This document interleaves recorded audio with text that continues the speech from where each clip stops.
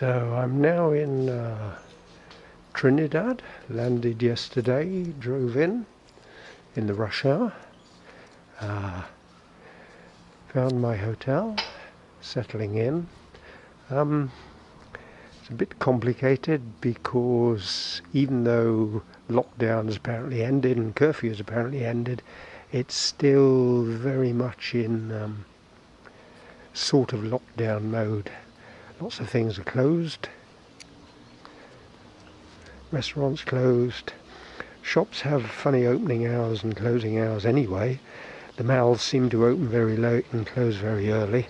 So it just makes everything, uh, well, you, you have to get yourself organised.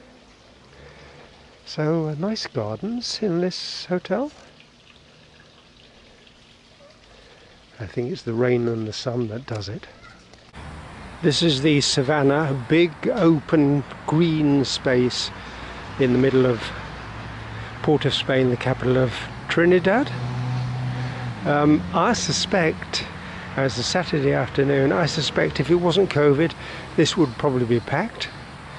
And there are juice sellers, if you see, along the side of the road, expecting the crowds that haven't actually come. Those two up there are selling coconut drinks. My uh, guide was telling me about that. So the squeezed juice out of coconuts, I'll have one of those a little bit later I think.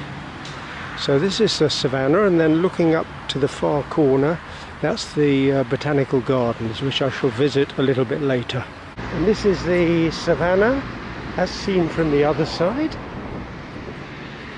Unfortunately there's always road noise in the background. There's a road that goes all the way around this is the heart of the city after all said and done, so I suppose road, uh, cars have to have a road to travel on. Um, and they jokingly call it locally the world's largest uh, roundabout. And it is, it's a roundabout. Three lanes all the way around. So this is one of the entrances to the Botanical Gardens and as you see it's closed. As um, I can see from here, some very fine trees and a lovely little gazebo over there, which I'll take a closer photo of.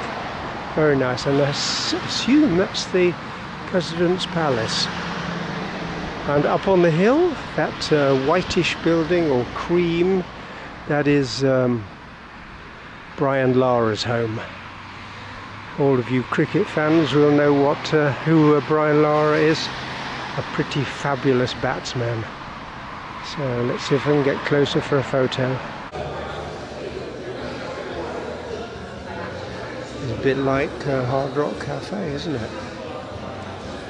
Style and everything, but the music's not as loud. And I think the food's going to be a lot better.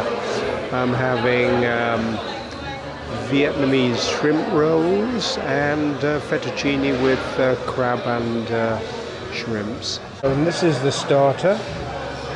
And I told the guy, do you really expect me to eat a main after this? This is huge. Vietnamese spring rolls. Still in Port of Spain in Trinidad. These are the suburbs of Port of Spain where some very nice houses and gardens and pools. This is the back garden of my hotel, the Kiskadee Corner, and it's very quiet, even though it's quite near to main roads. And yeah, you could call it central. Up there on the hills, rich people's houses, one of which is, I've been told, Brian Lara, the cricketer, very famous cricketer.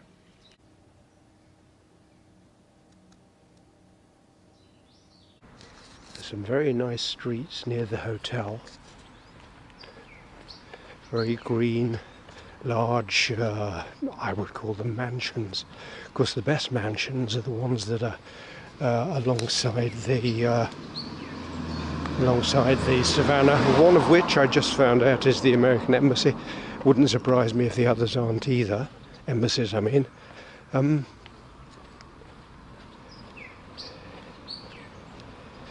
yes, I need to check that out. But there's no labelling. You can't tell from outside what it is. It's just that I read it somewhere. Oh, Google Maps, yes.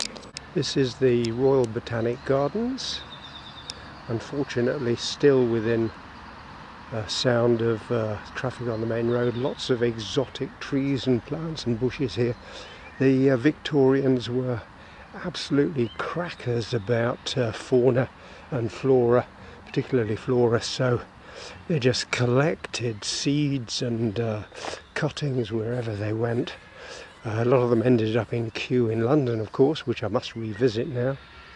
Um, and everywhere you go where the British were, there is a botanical garden. In India, even in the tiniest little uh, town, uh, there's a botanical gardens. It's been planted and well worth a visit, although generally, and I would almost say this uh, about this place, uh, rather neglected, which is such a such a pity. But um, if money's scarce, you you uh, are more interested in putting things on people's tables rather than uh, rather than um, what is really a little bit of an extravagance. The Victorians have got the money, we don't have it nowadays. But this is this is quite fine. I'm getting away from the traffic noise now. Apart from the fact that even though this is a park, there's a car coming up behind me. And there's even a graveyard here. General of the colony, Chantrel.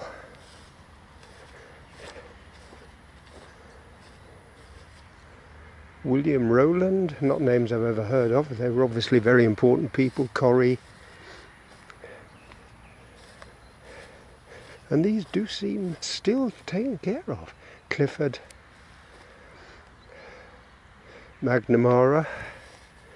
So all parts of the British Isles. And this is uh, uh, no, it hasn't got a name. Oh, Lucian Dice. Sounds rather German, doesn't it? Pleasant. Harry Fa Harriet Fowler died. Oh, very recently. 41. Uh, Trinidad became independent in, if I remember right, the 70s. This tree is from India, like uh, a lot of the others, Madagascar, but of course plenty of locals as well. I guess most of the palm trees are local. Beautiful park. And uh, I think I left it a little bit too late. It's starting to get very hot now. Native. Common name West Indies cherry. Wow.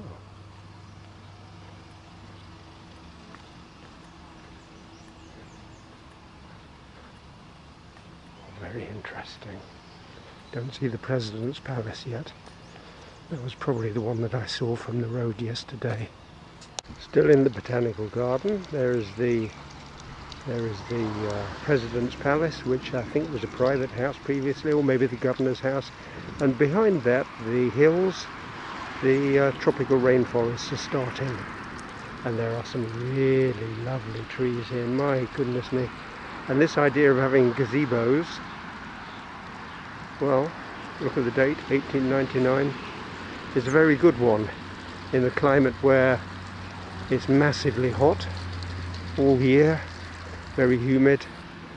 You need to walk 200 yards, sit down and have a rest in the shade, and that's what they are. And I suppose they're built in such a way that um, it encourages a draft inside. Very classy part of uh, Port of Spain. There's some very nice birds around here as well. Lovely yellow-breasted one, which I didn't manage to get a photo of. I'll try again later. manicured lawns, bougainvillea, lovely isn't it?